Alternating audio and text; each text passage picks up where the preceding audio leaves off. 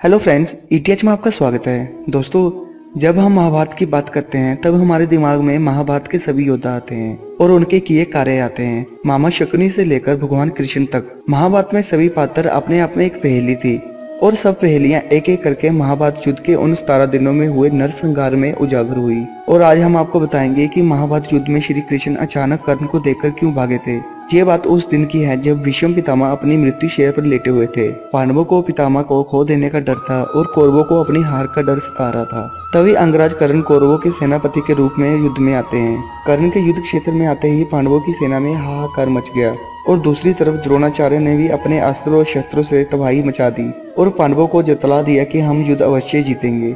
युद्ध क्षेत्र में कौरवों का पलड़ा भारी हो गया और पांडव घबराने लगे। तब अंगराज करण मंत्र उच्चारण से भगवान इंद्र से प्राप्त अस्त्र का आह्वान करते हैं। जब श्री कृष्ण ने देखा कि अंगराज उस अचूक अस्त्र का आह्वान कर रहे हैं, तब श्री कृष्ण अपने रथ को दक्षिण की ओर ले गए।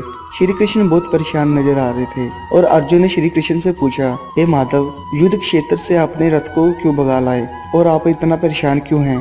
तब केशव मुस्कुराकर बोलते हैं, प्रिय अर्जुन, मैं तुम्हें खोना नहीं चाहता था और रथ को मैं दक्षिण दिशा की ओर ले आया। क्योंकि देवराज इंद्र ने कर्ण को एक ऐसा अचूक अस्त्र दिया है, जिसकी कोई गाठ नहीं।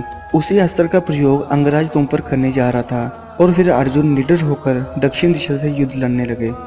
दोस्तों, अगली वीडियो में मैं आपको बताऊँगा कि माधव ने इंद्र अस्त्र को कैसे विफल किया। यदि वीडियो अच्छी लगी हो तो लाइक, कमेंट शेयर और सब्सक्राइब करना ना भूलें। जय हिंद, जय भारत।